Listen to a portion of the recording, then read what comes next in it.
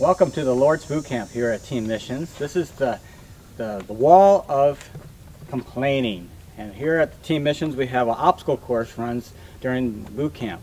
Uh, some of you have been at boot camp and some of you have uh, even ran the obstacle course. But one thing I want to talk to you about today is about the commitment that you made at the Lord's Boot Camp in, in past years. Uh, Philippians 1 6, I am sure of this, that he who began a good work in you will bring it to completion on the day of Jesus Christ. And I'm thinking about this when we were doing this devotional, that God helped these people commit their lives to Christ here at the Lord's Boot Camp, but help them complete it until the day of Jesus Christ. Um, Paul is sure about God's commitment to the, Philippi, the Philippine, Philippians.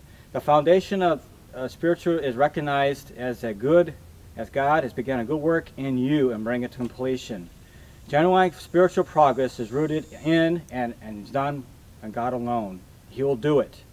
And remember that, you know, God is going to be faithful in all the things you do. Many, many days have passed since you've been at the Lord's boot camp, maybe, or life has done some things that you don't like. But Lord, I just pray that, that you, you will stand firm to the commitment that the Lord gave you here at the Lord's boot camp.